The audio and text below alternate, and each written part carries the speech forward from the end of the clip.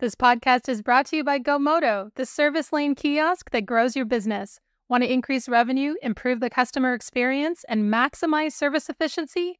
Visit GoMoto.com to learn more. G O M O T O.com. Want to dive deeper into the topics you hear about on Daily Drive?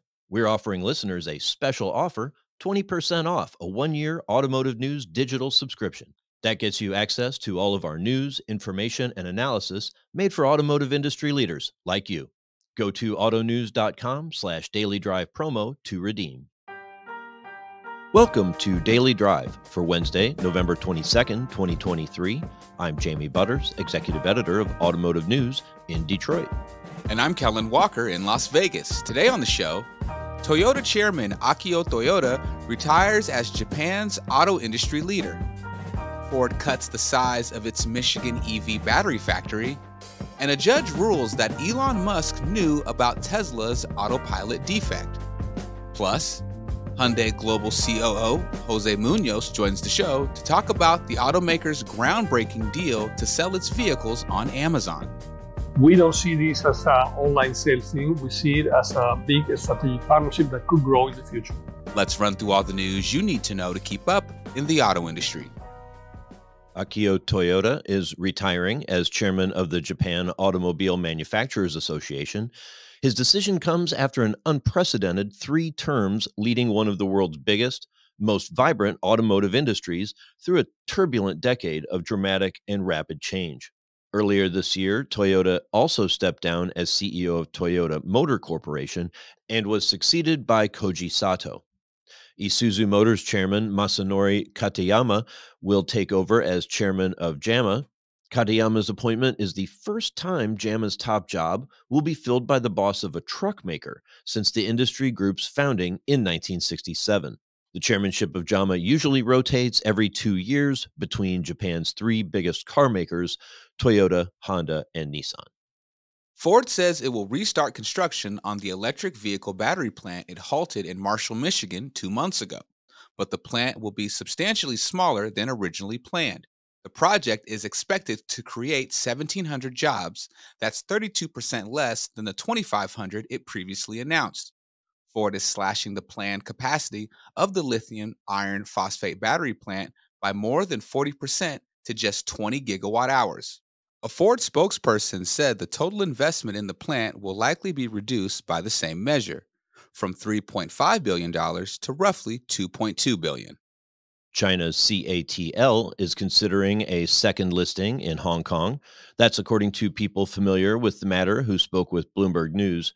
One of the sources said the world's biggest EV battery maker put a plan to sell global depository receipts in Switzerland on hold, which could help set up a possible share sale. The people said it's too early to tell the size of the fundraising of the Hong Kong listing. They said the decision making process is at an early stage. International Financing Review, which covers global markets, reported today that a CATL share sale could take place as soon as early next year. A representative for CATL didn't respond to requests for comment. A Florida judge found reasonable evidence that Tesla CEO Elon Musk and other managers knew the automaker's vehicles had a defective autopilot system, but still allowed the cars to be driven unsafely. Judge Reid Scott ruled last week in the Circuit Court of Palm Beach County that the plaintiff in a lawsuit over a fatal crash could proceed to trial and bring punitive damage claims against Tesla for intentional misconduct and gross negligence. The ruling is a setback for Tesla after the company won two product liability trials in California earlier this year over the autopilot driver assistance system. A Tesla spokesperson could not immediately be reached for comment on Tuesday. And the parent of Forbes magazine and its related website is no longer going forward with a sale to automotive technology magnate Austin Russell. The seller is Hong Kong based Integrated Whale Media Investments. The company terminated the agreement with Russell, who couldn't close the deal. That's according to an internal memo from Forbes CEO Mike Federle. The sale was paused for two weeks after missing a November 1st deadline. Russell is the CEO of Luminar Technologies. He announced in May that he was acquiring an 82% stake in Forbes Global Media Holdings. The deal valued the business at $800 million. Axios reports that's far more than previous valuations of the company, including one to take the company public that was valued at $620 million. And those are today's headlines. Jamie, Akio Toyoda is retiring from the Japan Automobile Manufacturers Association. Over the years, what was his biggest impact? You know, I'd say this most recent term has to be his most consequential. You know, for one thing, he stepped in, you know, out of order. He came in, you know, back into office sooner than he normally would have, in part because of some of the chaos at Nissan in the wake of Carlos Ghosn's departure. Uh, but more importantly, you know, he's really become a leading figure in arguing for carbon reduction in ways other than making and selling EVs. In fact, he has argued that that is really a less effective, less efficient way to reduce carbon and slow global warming. It's a, not a popular position. Uh, most other Japanese automakers kind of take the same view. In a sense, so does Hyundai, uh, which is seen as a leader on EVs but he's really articulated the argument against EVs, not against EVs, but against totally relying on EVs, especially in light of the limited availability of processed, you know, lithium and cobalt and those other minerals, you know, in this short period of time. Very interesting era. Gotcha. Coming up, Hyundai Global COO Jose Munoz talks about his company's landmark deal with Amazon to sell its vehicles online. That's next on Daily Drive. The auto industry's shift to carbon neutrality is here and it's accelerating. But is it enough? This is a moral imperative, an economic imperative, a moment of peril, but also a moment of extraordinary possibilities. No more hesitancy, no more excuses, no more waiting for the others to move first. There is simply no more time for that. Driving to Zero is a new podcast series from Automotive News that looks at the auto industry's roadmap to carbon neutrality. We take a big picture look at the environmental, political, and social trends pushing the move toward a greener future. And we pull back the curtain on how these decisions are being made at the highest levels. I said, you know, the, the headline that you need is is GM believes in an all electric future. And I think Dan Ammann and Mary Barra pretty much said the same thing, which is, is like, but but we we don't. Spoiler alert, they came around to that idea. Find out how and much more. I'm Jake Neer. Join me and Automotive News Executive Editor Jamie Butters on Driving to Zero, available now wherever you get your podcasts. Your service check in process sets the tone for your customer's entire visit. Do your customers wait longer than five minutes to check in for service? Are your advisors presenting upsells to every customer every time? How often is the opportunity for a trade appraisal missed? When your service drive gets busy, these inefficiencies directly impact revenue. Give your customers the option to handle the entire check in process themselves, from appointment scheduling through final confirmation in under two minutes. Customers have the experience they want while selling themselves, which means your advisors are freed up to focus on profit producing activities. It's a win win for CSI and your revenue. Introducing a smarter service lane, GoMoto is the self service kiosk designed to grow your business. If you're ready to start increasing revenue, improving the customer experience, and maximizing service efficiency today, visit GoMoto.com. That's G O M O T O.com. Welcome back to Daily Drive. I'm Jamie Butters with Kellen Walker. Hyundai will start selling its lineup of vehicles on Amazon early next year. It's a major development in the saga of online vehicle sales. Amazon is the world's largest online retailer with about $1.4 billion in sales every day. Hyundai's involvement is also novel in that it's an automaker with hundreds of dealers in the U.S says dealers will play a pivotal role in all of its U.S. transactions. I spoke with Hyundai Global COO Jose Munoz last week at the Los Angeles Auto Show, where the companies announced the partnership. I want to know more about this deal with Amazon. Okay, well, first, let me start by saying that uh, we started this uh, in 2018. Uh, at that time, we were just thinking, how can we learn from the leader in um, digital sales. And then we started a partnership where basically we allow our customers to shop in Amazon. Shop uh, would allow only at the time to get some products uh, displayed and uh, do some car configuration, etc. Something very basic. Mm-hmm. This has been a, a great opportunity to uh, strengthen the relationship between both corporations, get to know each other better, and then uh, look for uh, all the synergies and opportunities. So we're very happy to announce today this strategic partnership, which is comprised of three great pillars. Mm-hmm. Pillar number one is the online sales which is uh, an end-to-end solution, which is aimed at uh, providing to the consumer a better shopping experience. We've learned through the pandemic how the consumers were expecting to uh, have similar experience when buying a car than when they buy something else online. Mm-hmm. And that was not the reality, despite the many players and the many tools, etc., etc. So uh, then we uh, decided to work together with Amazon, and Amazon was uh, also looking into the car sales uh, as one of the future opportunities. And I think we saw a, a win-win solution, right? So they are, without a doubt, the number one uh, online sales. They have 250 million customers a day, and they have 150 million uh, Prime customers. Mm-hmm. And then uh, we are the third global uh, OEM.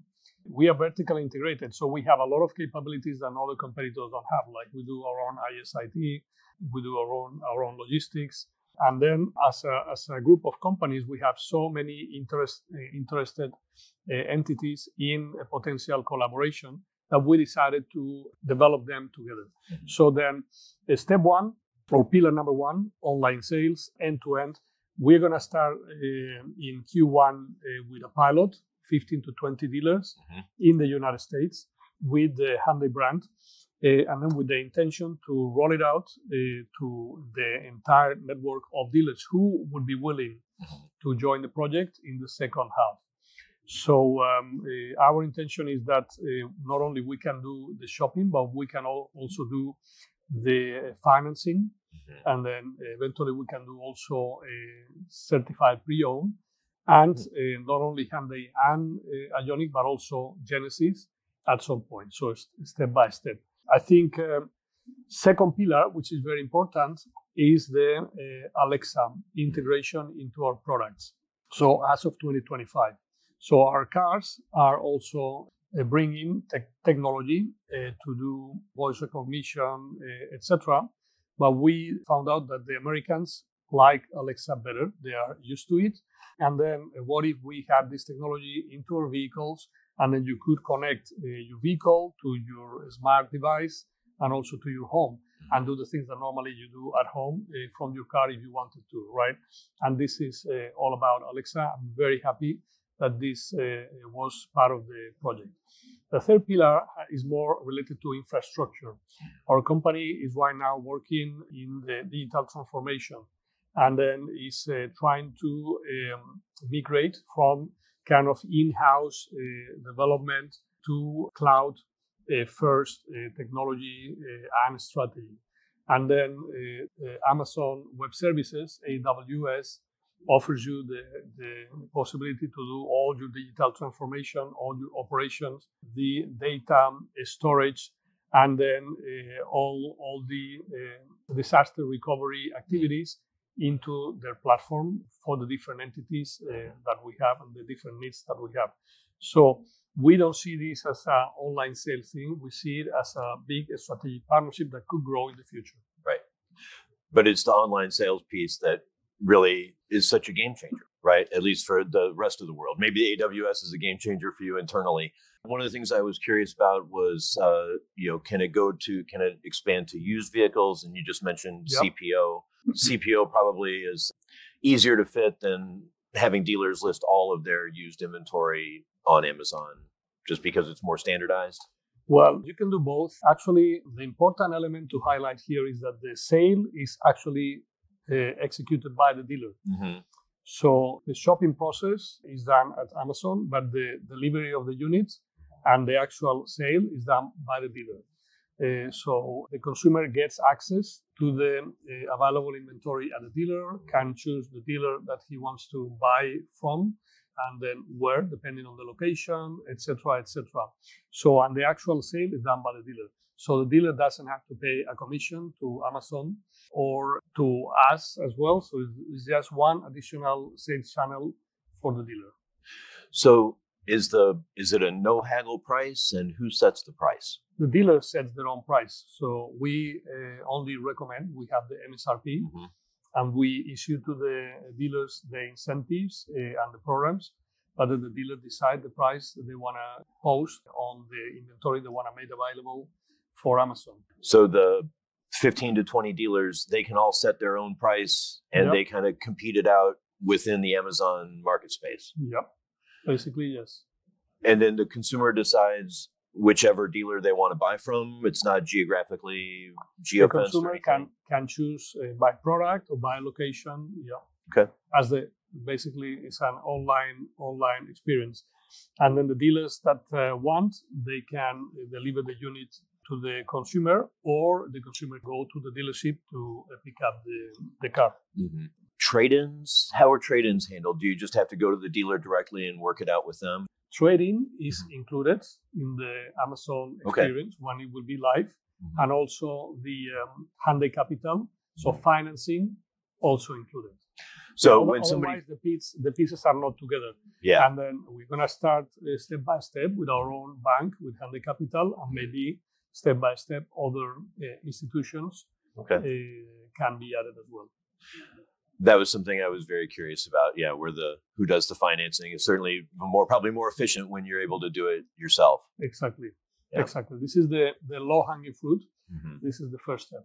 How does Amazon make money then on this? I mean, other than the AWS and the I've been, I've been in all the meetings uh, with the, um, uh, the Marty, who is the one who was with, with me at the stairs. Say, hey, we have different ways to make money, different different things, and uh, I'm not gonna tell you we haven't figured it out yet, so I'm not gonna uh, give it to you. But basically, is not making money out of the deal, and is not pay, is not uh, getting a commission from the dealer. So Hmm. they have different ways to make money. I guess uh, maybe this is the initial phase, or maybe it's an exploration, or Mm-hmm. they see benefits. If you if you bring uh, millions of consumers who are buying cars, I guess they not only buy cars, right? They may buy uh, other things as well. Yeah. So they have their own way. So I didn't see them worried about it. sometimes i mean i think there's a sense in industries you know amazon comes in and they offer a great deal they lose money on products when they first start selling them and then they gain a certain amount of power over the market and can really change the game uh, you are not worried about them doing that to you or to the auto industry I'm not worried. I see it actually as uh, we're getting access to 250 million a day shoppers. Very simple, right? so interesting thing is uh, the dealers have had an overwhelming positive reaction. Hmm. It's and it's volunteer, by the way. So uh, you don't want to be part of this, uh, you are not. So it's it's up up to you. We open to everybody, and then we immediately got uh, unsolicited volunteers uh, to be pilot because uh, being the first mover gives us the advantage to, to have positive uh, reaction in the market, but also we are the ones developing together with Amazon the technology for this platform. So our dealers, in a way, benefit from that as well. don't you think all of your dealers will sign up or do you think I there will be a few that will hold I out I think or- they will all sign up. Yeah. When when we started this uh, kind of uh, testing phase back in 2018, uh, when we explained how it worked, uh, they all sign up. And the point again is not, uh, hey, do, do you want to do it or not? This is when are you going to do it? Because uh, they are going to do it with or without us. So if you are brand number four, number five, you will have to sign uh, anyway. So now you have the opportunity to pioneer, to experience, to pilot, to learn, and to uh, take the make the most out of this, right? Jose Munoz is global COO for Hyundai Motor Company. I spoke with him at the Los Angeles Auto Show. That's Daily Drive for today. I'm Jamie Butters. And I'm Kellen Walker. Thanks to Automotive News coordinating producer Jake Neer, as well as our own Rudy Shork and Hans Greimel for their reporting for today's podcast. We also had reporting from Kurt Nagl of our sibling publication, Crain's Detroit Business. You can get the latest news on online vehicle sales, battery plants, and everything happening in the auto industry at autonews.com. We'll be off for the Thanksgiving holiday here in the U.S. until Monday, November 27th. Come back that day for a conversation with Unifor President Lana Payne about the union's record contracts with the Detroit Three. If you enjoy the podcast, remember to like, leave a review, and subscribe so you never miss an episode.